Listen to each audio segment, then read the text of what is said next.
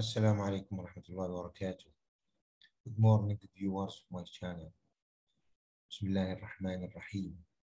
عن أبي هريرة رضي الله تعالى عنه أن رسول الله صلى الله عليه وسلم قال: إذا مات ابن آدم انقطع عنه عمله إلا من ثلاث: صدقة جارية أو علم ينتفع به أو ولد أو ولد صالح يدعو له.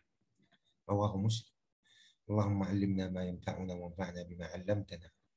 اللهم إني أشهدك وأشهد أشهدك وأشهد حملة عرشك وملائكتك وجميع خلقك.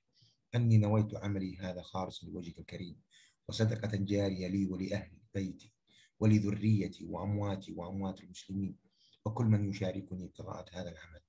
اللهم صل على محمد وآل محمد كما صليت على إبراهيم وعلى آل إبراهيم في العالمين إنك حميد مجيد. السلام عليكم ورحمة الله